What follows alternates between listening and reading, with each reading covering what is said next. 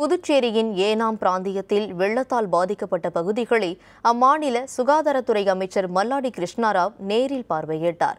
கோதாவரி ஆற்றில் ஏற்பட்ட வெள்ளப்பெருக்கால் ஏனாம் பிராந்தியத்தின் நகரம் கிராமம் என அனைத்து பகுதிகளிலும் வெள்ள நீர் சூழ்ந்துள்ளது.